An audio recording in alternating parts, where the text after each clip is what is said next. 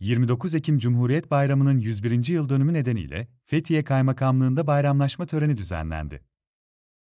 Ulu Önder Mustafa Kemal Atatürk'ün temellerini attığı Türkiye Cumhuriyeti'nin ilanının üzerinden tam 101 yıl geçti.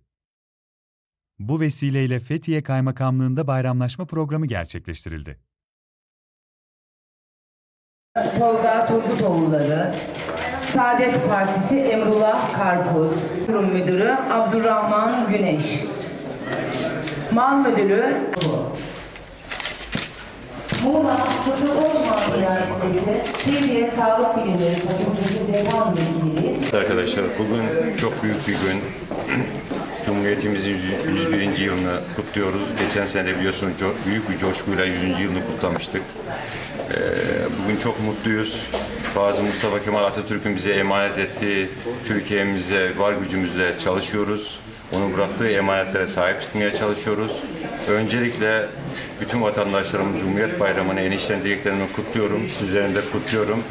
Ee, nice yüzyıllara diyorum. Tekrar hepinizin bayramınız kutlu olsun arkadaşlar.